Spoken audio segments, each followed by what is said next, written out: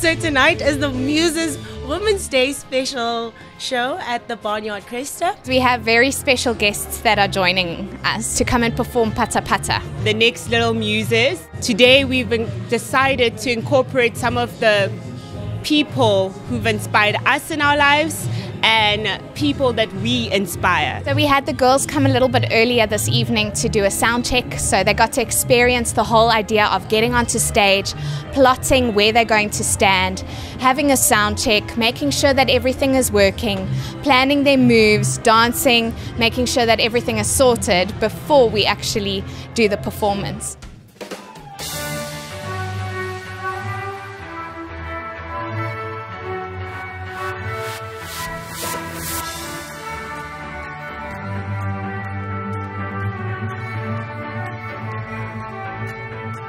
But we all started somewhere. We once upon a time were beginner violinists and um, learning to play, and we've put in a lot of hours. And uh, we'd like to inspire other young girls and future talent. It's important to reach back and see what you can give to try and make a difference, to try and inspire, to try and grow a nation. And it's actually quite a privilege for me because this is something that I'm so passionate about. Children are just God's gift to the world. I think um, it's very important to have a mentor. You look up to women when you're young. One of my mentors was Ruby, who is also a muse. I remember seeing the muses on TV. I was like, one day. And for these kids, I'm pretty sure that's how they're feeling right now. I've always dreamed of playing with the muses. We're very excited. My dream is to um, carry on my violin life and um, be one of the muses. We're celebrating women today. Women are power.